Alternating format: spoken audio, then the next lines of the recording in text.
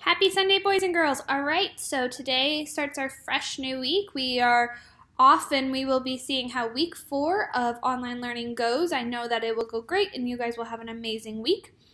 Um, and I'm just excited to see where it is. So I will see you all on Zoom at 750.